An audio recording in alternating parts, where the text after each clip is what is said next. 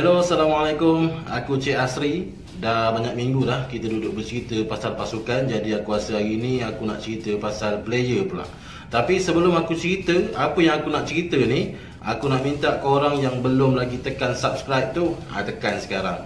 Aku tengok 2-3 minggu ni subscriber sendu je. Ha, tolonglah tekan. Like dan habis dia tengok video ni, jangan lupa share. Okay. Hari ni aku nak cerita tentang seorang player yang aku rasa kalau aku sebut nama ni memang ramai yang tahu lebih-lebih lagi penyokong bola sepak Kelantan iaitu Halim Napi. Kalau ada yang tak kenal, tak tahu ataupun tak pernah dengar nama Halim Napi ni, siapa Halim Napi? Halim Yazid kenal, anak tupah. Halim Napi siapa? Okey, Halim Napi ni dia merupakan uh, bekas player yang bermain di posisi penjaga gol dan dia memang familiar lah untuk penyokong Kelantan sebab dia menjadi penjaga gol untuk pasukan Kelantan. Apa yang aku boleh katakan uh, pasal Halim Napi ni dia merupakan seorang penjaga gol ataupun player bola yang cukup berbakat tetapi panas barat. Kalau kita nak cerita dari segi fizikal bentuk tubuh badan dia solid sebagai seorang penjaga gol. Memiliki ketinggian 1.83 meter, 6 kaki bah. Aku rasa tak ada dah penjaga gol dekat negara kita yang memiliki bentuk fizikal sama macam dia. Dari segi bakat, dia memang seorang penjaga gol yang talented. Tetapi dari segi angle management dia, ha, itu benda yang kita boleh katakan dia tak ada benda tu. Karier Halim Napi ni bermula dengan Piala Presiden untuk negeri Kelantan sebelum dia diserap masuk ke dalam skuad utama pasukan Kelantan FA pada 1994. Aku tak lahir lagi masa itu. Dua bulan dia main dengan Kelantan FA Dia dah digantung perlawanan Dan paling perik lagi teruk daripada tu Dia digantung satu musim terus tak boleh main Selepas dia menendang player import pasukan Selangor Iaitu Zod Bush. Bukan Bush yang Amerika tu Zod Bush Dalam saingan Liga Perdana pada Jun 1994 dia punya aksi masa dia tendang player Selangor tu ha, kalau kau pernah tengok macam mana apa Eric Cantona tu tendang penyokong ha, lebih kurang macam tu lah yang Halim Napi tu buat. Kemudian 1997 ini merupakan kes yang berprofil tinggi uh, dalam bola sepak yang pernah berlaku dalam negara kita. Kalau kau rasa Fabregas gaduh dengan 1Z tu kau rasa 1Z tu dah cukup gila Halim Napi buat benda yang lagi gila apabila dia telah menyerang dan mengugut pengadil perlawanan pada tahun 1997 dan disebabkan benda tu FAM telah menghukum Halim Napi dengan cara macam mana? Dia tak bagi muka lah.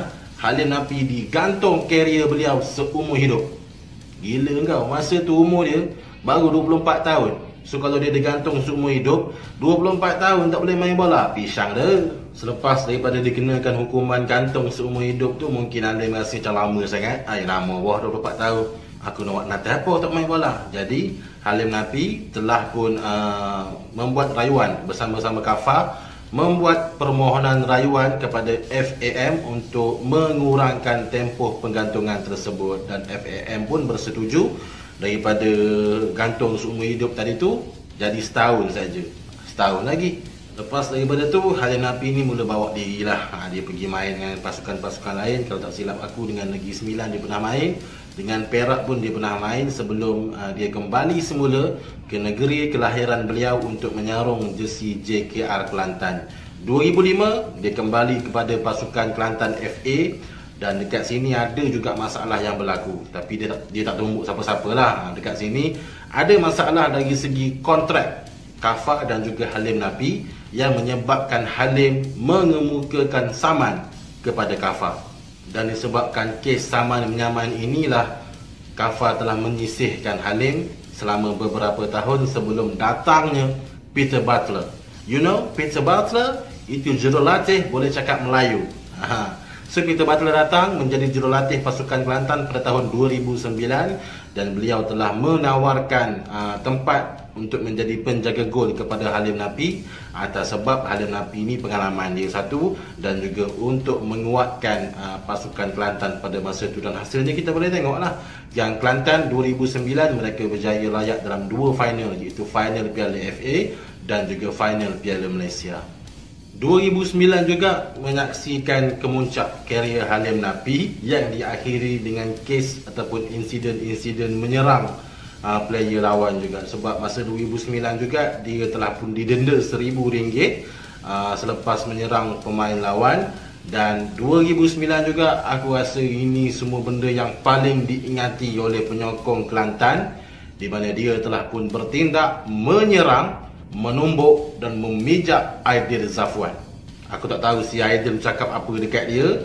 Sudahnya makan kaki dan makan penumbuk si Zafwan tu dan berlaku rusuhan di Stadium Sultan Muhammad keempat Kota Baru dan masa tu aku masa 2008 2009 ni boleh dikatakan aku tak pernah miss perlawanan yang melibatkan pasukan Kelantan tapi pada malam yang melibatkan rusuhan tu aku punyalah semangat masa tu aku baru tingkatan satu ke tingkatan dua masa tu aku tengah buat homework punyalah cepat nak siap sebab nak pergi tengok bola sekali bapak aku cakap tak payah pergi hari ni Aku tanya lah, apa hal pula? Ha, tak ada lah. Berani aku cakap cerita dengan bapak aku. Aku tanya je lah, kenapa? Ha, dia pun cakap, tak payah pergi lah hari ni, kita pergi nanti lawan Selangor. So aku pun redha. So aku tak pergi, tapi hikmahnya, kenapa aku tak dibenarkan pergi? Sebab malam tu berlakunya rusuhan. Ada hikmah lah juga sebenarnya. Masa tu KAFA uh, ataupun Persatuan Bola Sepak Kelantan ini dipimpin oleh Tan Sri Anwar Musa dan beliau telah pun menggugurkan nama Halim Napi selepas saja insiden tersebut. Tapi dia sempatlah uh, main masa final Piala Malaysia masa 2009 yang si Aidil tendang penalti itu so nasib baik tak kena tumbuk juga masa tu.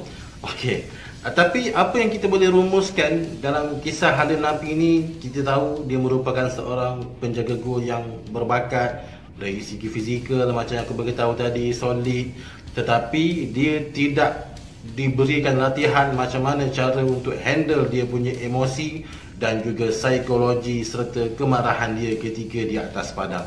Dan Halim Napi ini juga merupakan seorang player yang memegang rekod penggantungan kumulatif paling lama. Tak ada player boleh beat dan kau tak payahlah mimpi nak beat rekod tu. Kau tak payahlah buat macam apa yang dia buat untuk player-player yang tengah main bola sekarang. Tak kisahlah Liga FAM ke uh, Liga Perdana ke Liga Super ke kau tak payahlah buat. Uh, setakat tolak-tolak pegang-pegang gitu uh, itu biasalah. Kalau kita tengok negara-negara luar contohlah macam Eropah.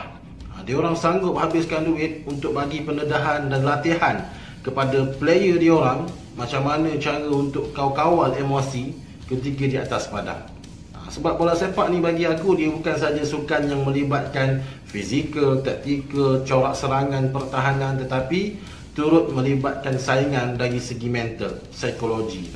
So tu je lah uh, cerita yang aku nak share dengan korang tentang Halim Napi yang aku anggap dia adalah legend untuk pasukan Kelantan sebenarnya. Apa yang dia buat tu, player lain tak berani buat dan tak payahlah buat.